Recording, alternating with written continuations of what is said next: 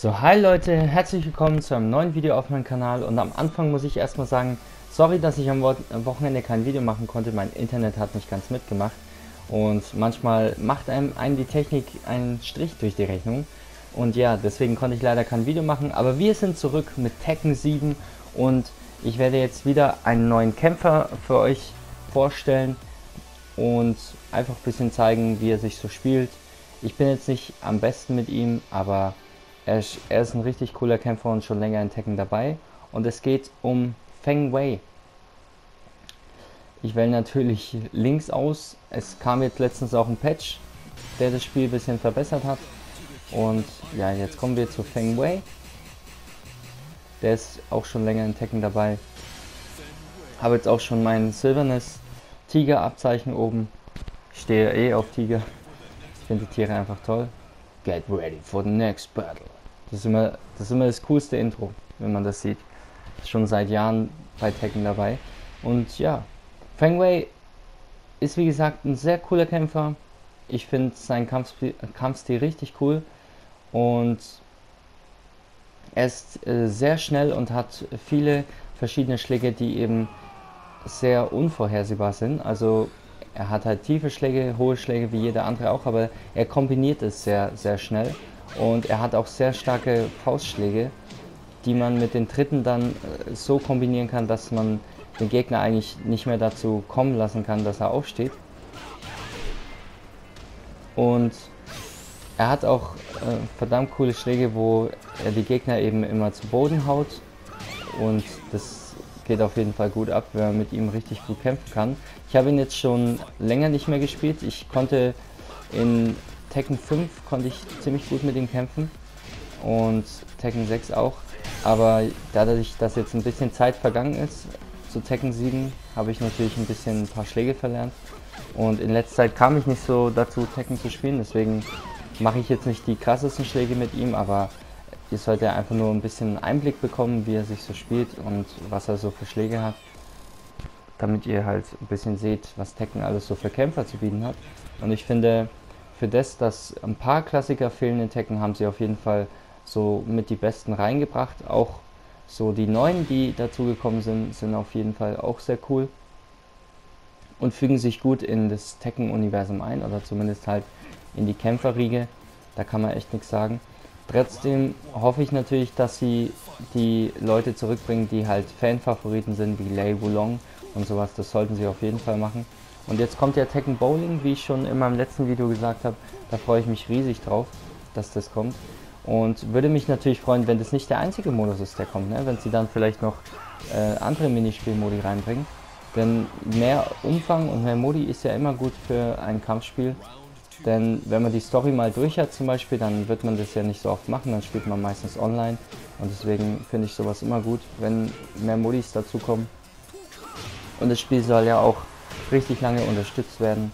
Also mindestens ein Jahr wollen sie das Spiel supporten mit Patches und Balance und so weiter. Und deswegen finde ich das super. Also da können sie ruhig die anderen klassischen Modi auch noch dazu bringen. Also da hätte ich nichts dagegen. So, wir haben jetzt schon den nächsten Kämpfer besiegt. Und Feng Wei macht mir wirklich riesig Spaß. Ich muss mich natürlich jetzt wieder an ihn gewöhnen, an seine Schläge und so. Und er hat dann natürlich auch in Tekken 7 neue Schläge dazu bekommen. Jetzt kämpfen wir gegen Steve, den Boxer. Ich finde auch die Stages haben einen Tekken 7. Also die, die Stages haben sie so schön gemacht. Und es gibt natürlich wieder verschiedene Stages, wo man eben auf verschiedene Ebenen kämpfen kann. Wenn man den Gegner dann gegen die Wand haut, bricht die Wand weg und dann kann man runterfallen und so. Und das macht dann natürlich mehr Schaden. Das gab es vorher nicht so oft in Tekken. Das kam dann erst mit Tekken 4 dazu. Zumindest in Tekken 4 hatte man dann die Möglichkeit, dass man eben zur Wand gehen konnte oder dass man kein rundes Tablett hat, wo man sich drauf bewegt. Denn vorher war es so, dass man sich immer auf so, ein, so einer runden Scheibe bewegt hat.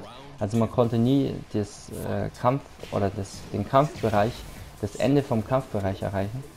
Und jetzt haben sie es eben so gemacht, dass man gegen die Wand schlagen kann, dass man den Gegner öfter in der Luft halten kann und so.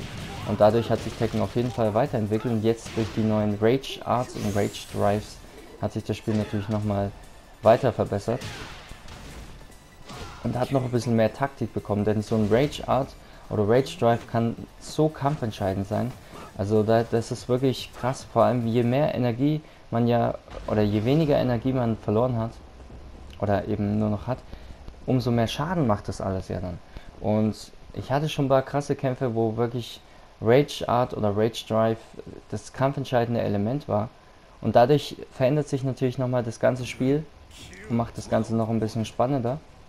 Und vor allem ist man dann als Kämpfer, wenn man jetzt mal einen guten Gegner hat gegenüber, ist man dann nicht sofort äh, K.O. oder hat nicht sofort eben den, den Nachteil, sondern kann den Kampf eben noch drehen. Und das finde ich wirklich super. Und das ist einfach gut eingefügt worden ins Spiel, ohne dass es eben den, den, die Leute, die alten Fans irgendwie so durcheinander bringt oder man sagt, boah, oh nee, zu viel, sondern es ist genau so geändert, dass man, dass man es schnell lernt und dass es sich eben gut einfügt in Tekken. Und die Kämpfe in Tekken sind ja sowieso schon sehr schnell zu Ende, weil es manchmal wirklich drei, vier Schläge kannst du machen, da ist schon fast die Hälfte der Energie weg. Also das kann sehr schnell in Tekken gehen. Ist mit eins der schnellsten äh, Spiele, finde ich, was, was äh, das K.O. angeht. Also wenn da jemand gut drauf ist, zum Beispiel mit King einmal einen Packen macht, kann man schon eigentlich den Kampf gewinnen.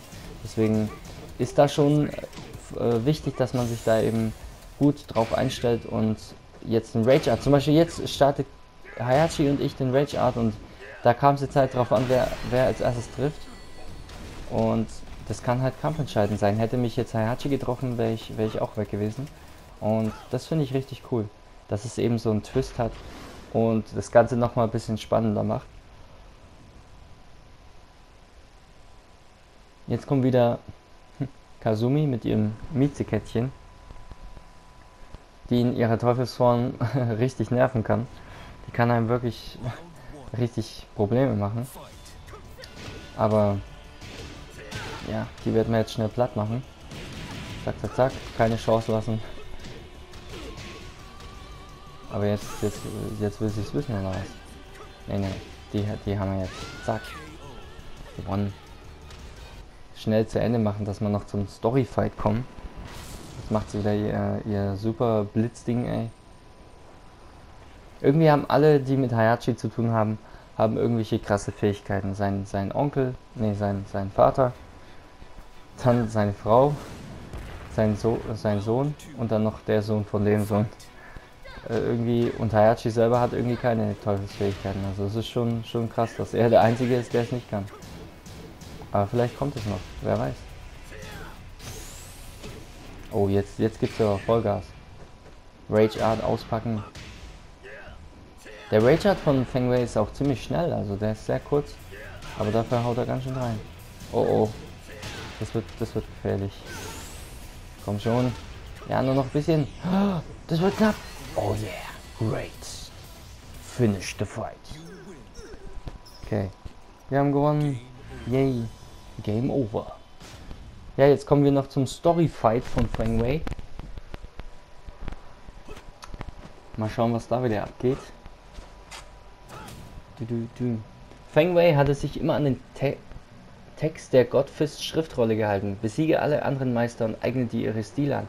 Der perfekte, perfekte Krieger überragt alle. Und zum Drachengott zu werden, nachdem er gegen Meister viele verschiedene Stile gekämpft hatte,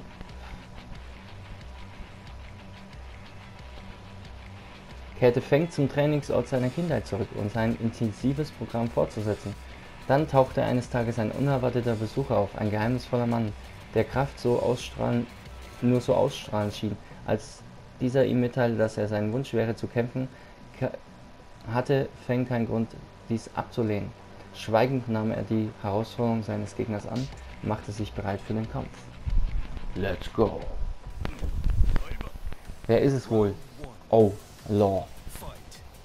Bruce Lee in Tekken-Form. Ja, die Stage von Law ist auch richtig nice. Oder ist es, glaube ich, gar nicht die Stage von Law, ist, glaube ich, die Stage von Feng Wei. Die sieht auch richtig cool aus mit dem Drachen im Hintergrund. Aber es kann auch von Law sein, denn Law ist ja, hat ja... Ne, okay, nee.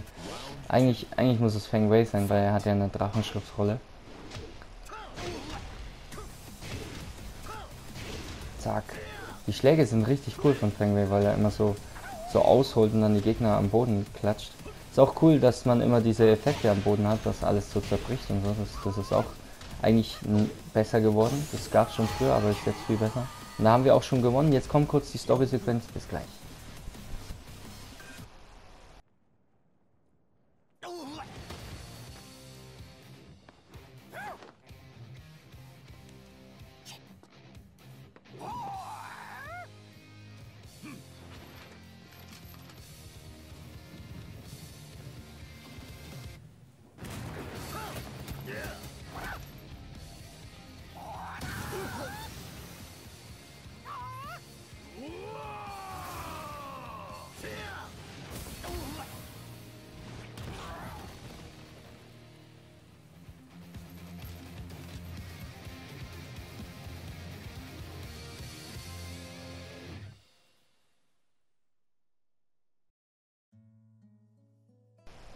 So, dann komme ich damit auch wieder zum Ende vom Video. Ich hoffe wie immer, dass es euch gefallen hat. Ich danke euch fürs Zuschauen und würde mich natürlich immer einen Daumen nach oben freuen. Das finde ich immer toll, wenn ihr mir zeigt, dass es euch gefällt.